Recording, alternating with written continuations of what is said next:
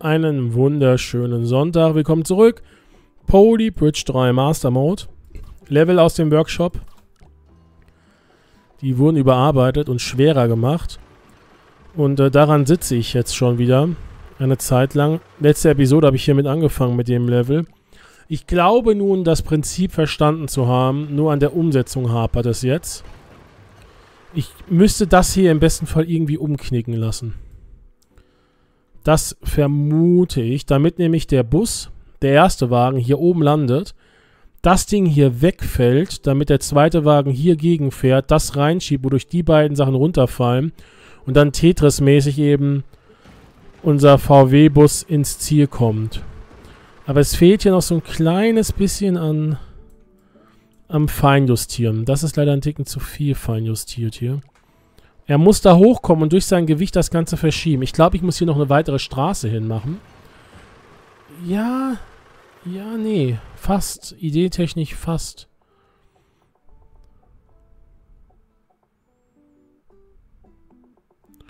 Kann ich das hier irgendwie mit dem oberen Teil für... Ah, das ist total irrsinnig hier. Nee, das macht ja gar keinen Sinn. Ich muss das hier irgendwie wegklappen lassen. Es klappt weg, ja, aber dummerweise schon viel zu früh.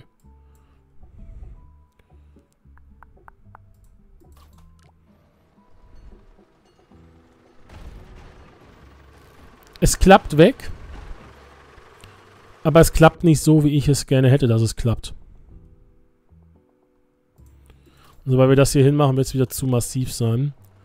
Sodass es dann nicht mehr umfällt. Ja, doch, aber halt falsche Stelle.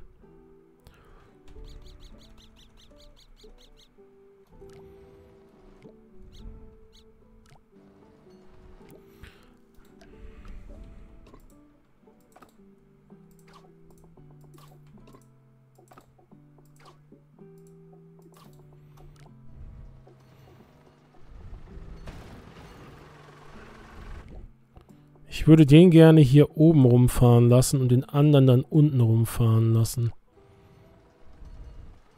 Der muss weiter nach rechts gehen hier. Ja, vielleicht auch nicht. Komm schon. Den ein bisschen weniger stabil machen.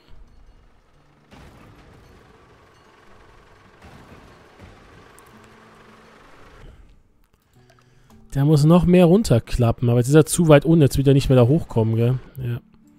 Das den hier muss ich runter machen. Sobald ich das mache, wird es hier wieder zu eng für den anderen Kollegen.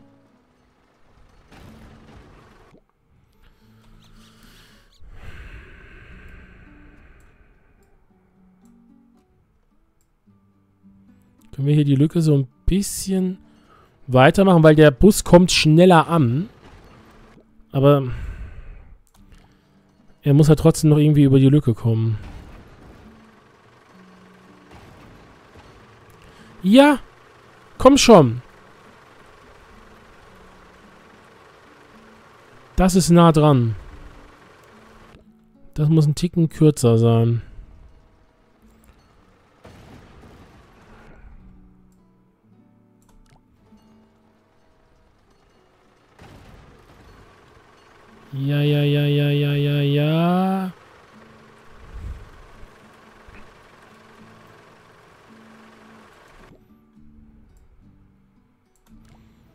Wird wieder nicht hinhauen, gell?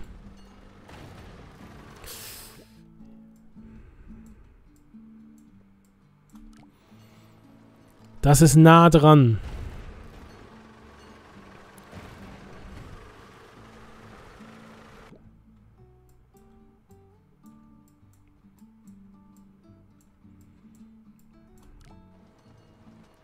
Ich muss den hier irgendwie reinfallen lassen. Ist ein Ticken zu weit mit der Nase unten. Das heißt, wenn ich den höher bringe, müsste er mit dem Rad besser aufkommen, um weiterfahren zu können. Ja! Nein! Wieso fällst du nicht? Ist er nicht schnell genug? Oder weil der andere hier drauf liegt. Dadurch ist das Gewicht höher und deswegen schiebt er den nicht rein. Da! Oh, das ist schon ein cooles Level. Wenn auch nervig an der einen oder anderen Stelle in dem Fall. Gucken wir mal ganz kurz rein, was die anderen Lösungen so waren. Drei, meinst du sogar die günstigste Variante? Wow. Ähnliches Konzept. Oh, das ist so gut. Das ist so gut. Tezetel. Zwei Straßen, oder? Eine oben, eine unten.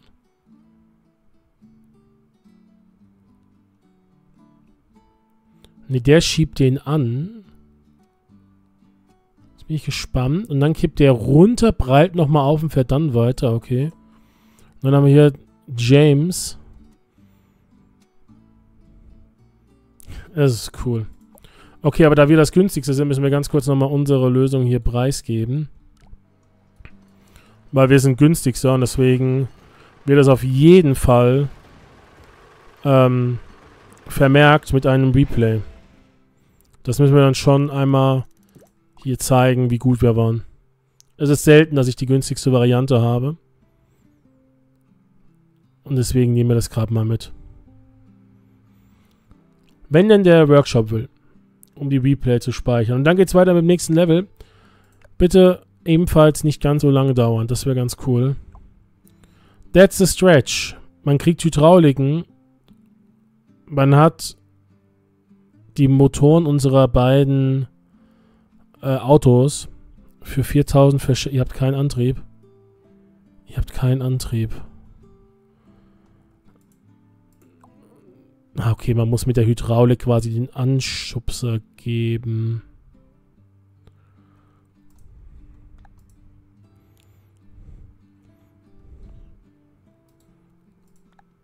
Ich gehe stark davon aus, dass wenn ich das hier mache,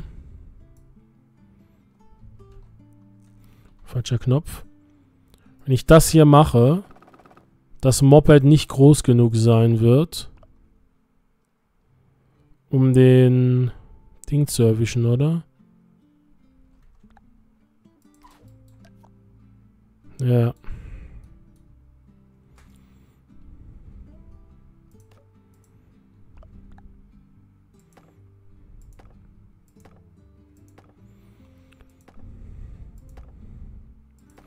Ich will hier auf keinen Fall ähm, irgendwas bauen müssen mit Hilfe von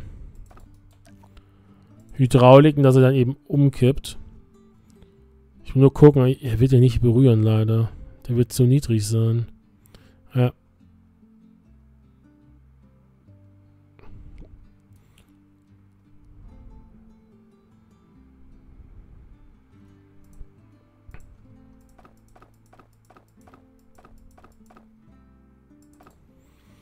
Okay, dann machen wir es so.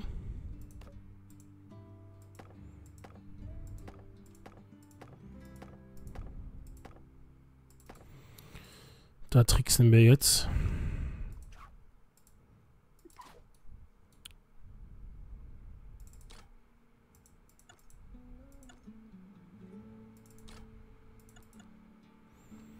Oh, man hat keinen Hydraulik-Controller, das funktioniert nicht. Oh, wie unverschämt. Dann nimmt er mir sofort den Wind aus den Segeln. Ich wollte tricksen. Ich wollte ihm halt oben einen anderen Weg geben, der gerade so gehalten wird, damit er eben oben lang kann und dann macht's plopp, er fällt runter. Das heißt, es muss eigentlich gefedert sein, weil er hat hier das Gewicht. Oh, das ist aber auch wieder ekelhaft. Das Problem bei der Federung ist natürlich,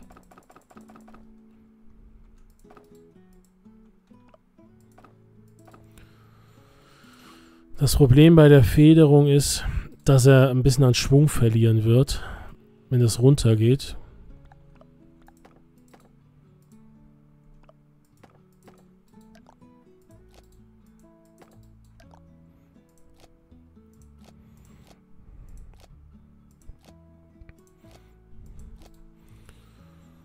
Ich denke, dass die Hydraulik eigentlich nur dafür da ist, um ähm, den Anfangsschwung zu geben. Das funktioniert sehr gut.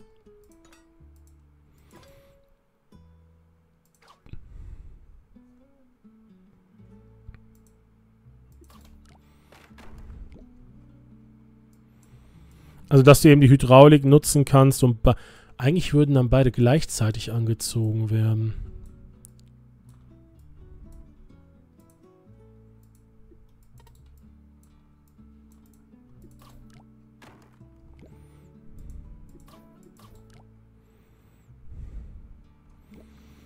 Gucken wir mal, ob wir ihm hier... Ups. Damit auf jeden Fall so einen Anstoß Gib mir doch mal jetzt das Ding da. Was soll das denn? Geht doch.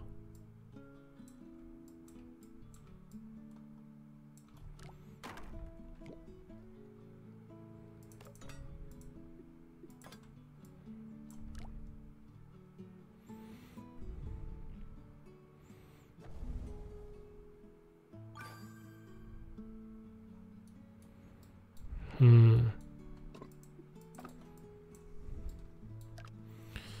Wenn wir das alles wegmachen, wird er nicht weit genug runtergehen, um den blöden Ding zu erwischen hier.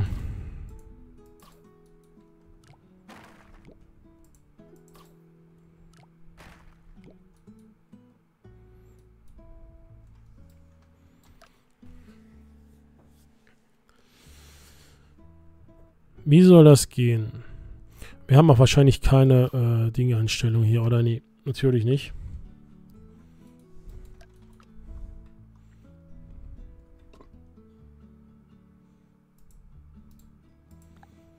Ich hätte das wirklich gerne mit zwei Straßen gemacht. Eine unten, eine oben.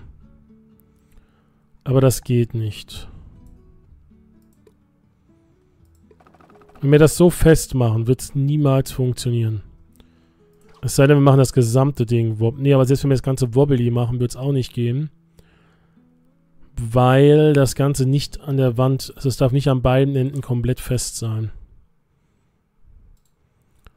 Das ist schon mal klar. Es muss noch ein gewisses Maß an Bewegungsfreiraum haben, damit irgendwas geht.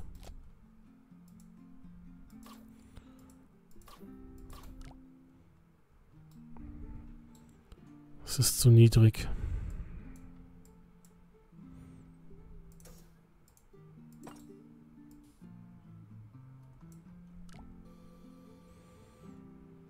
Das würde gehen.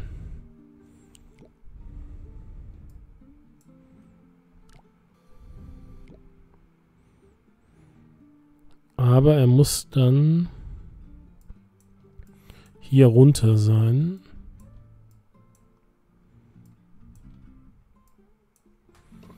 Hier muss man auf jeden Fall noch so ein bisschen an Straße mitbringen, damit er auch die Möglichkeit hat, zurückzukommen. Das könnte ganz gut funktionieren.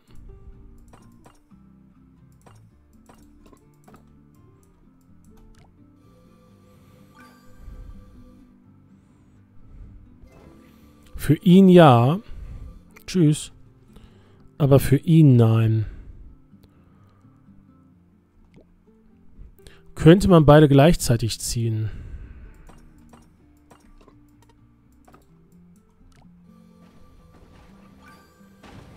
Nee, er kriegt dann diesen Ding nicht. Das funktioniert leider nicht. Reicht das hier? Ich meine, das wäre eh wieder egal, weil wir keine Ne, es reicht nicht, er kommt da nicht hoch.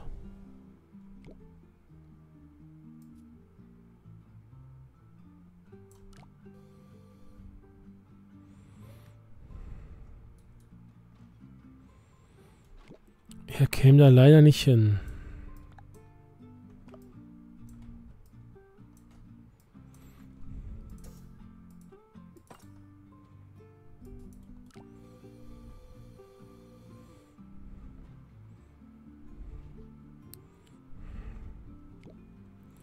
Leider kommt er da nicht an diesen blöden Checkpoint und er ist nicht schnell genug. Was wieder heißt, okay, man braucht hier mehr.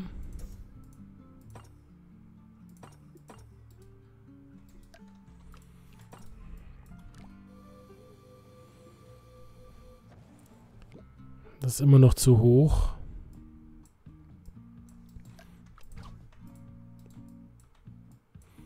Sollen wir das hier komplett auf Federn macht, dann wieder vom Gewicht her nicht klappen. Okay, er würde es klappen. Aber das würde nicht gehen. Das heißt,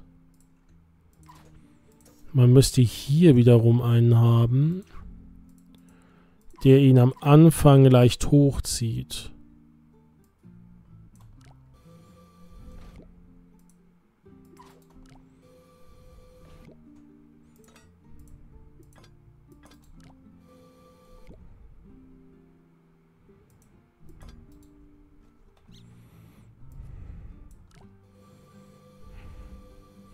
Er ist vielleicht ein bisschen übertrieben.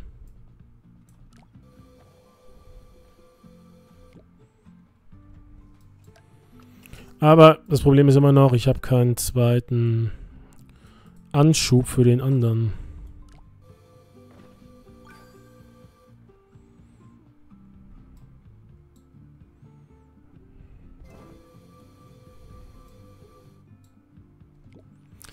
Nee.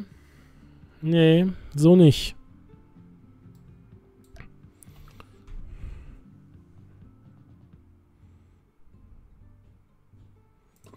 Also beides gleichzeitig funktioniert auch nicht.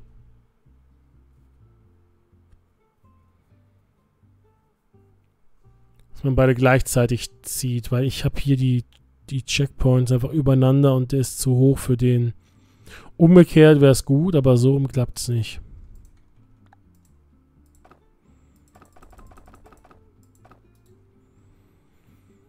Ich meine, es wird auch einen Sinn haben, dass hier eben 0,5 Meter Differenz ist zwischen den beiden.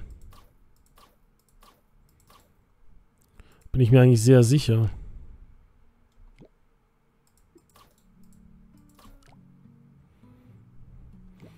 Das finde ich eigentlich eine relativ gute Straße aktuell.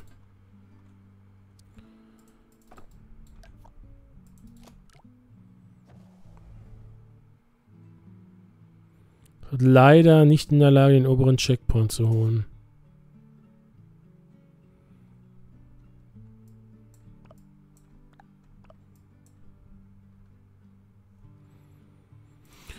Und wenn ich dich hier hoch, wenn ich dich hier massiv mache, wird es halt auch wieder nicht funktionieren.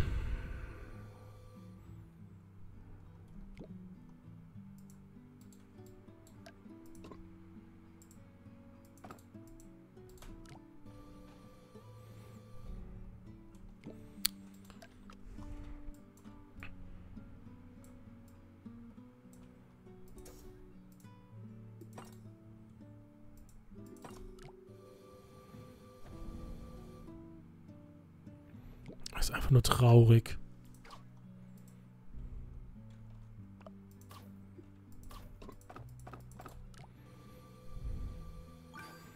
Den fand ich ganz nice.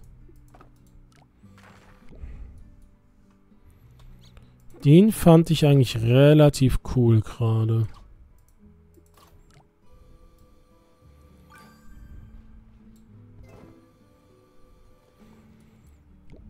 Glaube nicht, dass der hier massiv genug ist. Uh, das könnte gut sein.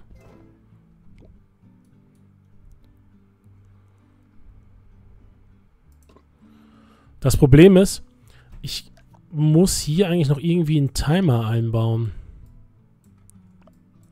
Ja, ich kann nicht beide gleichzeitig ziehen lassen. Das hatten wir eben schon mal. Wenn ich hier beide gleichzeitig ziehen lasse, da ist das Problem, dass der natürlich hängen bleibt dann an der Straße.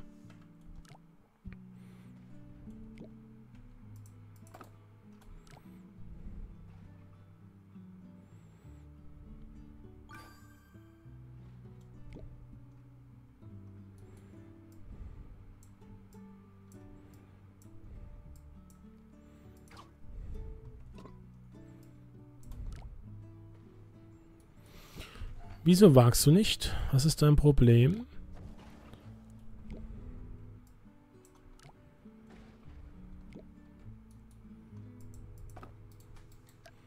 Brauchen wir hier mehr Straßen? Nee. Also das davor fand ich cool und jetzt wird's nervig. Dass es eben hier nicht das funktioniert. Das ist cool. Yay, jupp. Aber der klappt nicht. Können wir den ziehen und dann eben sagen, okay, weißt du was, wir geben dir hier richtig Power.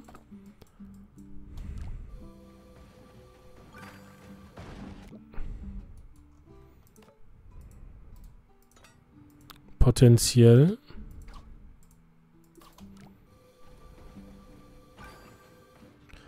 Ah, zu knapp.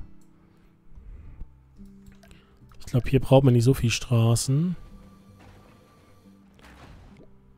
Okay, man braucht ein bisschen mehr Straßen. Wichtig wäre dann vor allem, dass das hier kein Stahl sein darf. Wir müssen es anders festmachen. Hier nur einmal Stahl hinmachen.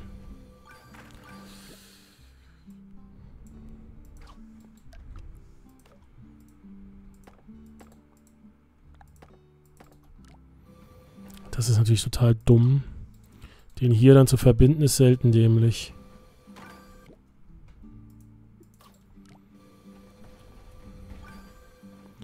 Ah, der ist so knapp. Ich glaube, wenn ich hier eine Feder hinmache, wird es insgesamt zu niedrig, gell? Ja. Machen wir es kürzer. Weniger Seil.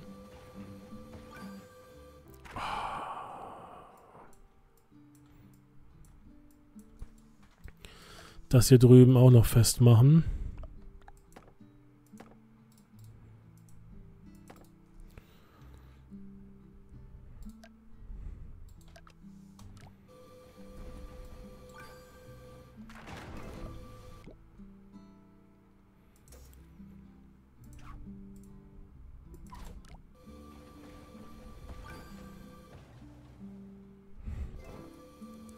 Das Einzige, was jetzt gefehlt hat, war leider die die Einfahrt ins Ziel.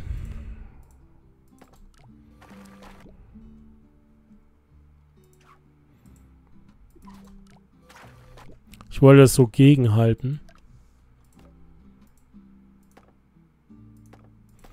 Kann das alles oben weg, wenn wir das unten festmachen. Oder fester vielmehr.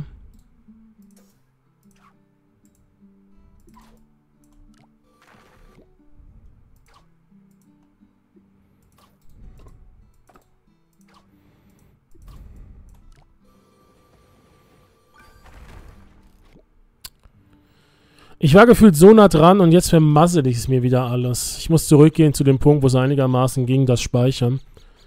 Weil es hat keinen Sinn heute.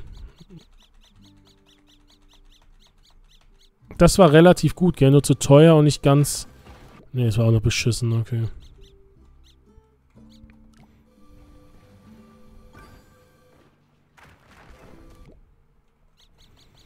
Irgendwas in der Richtung hier.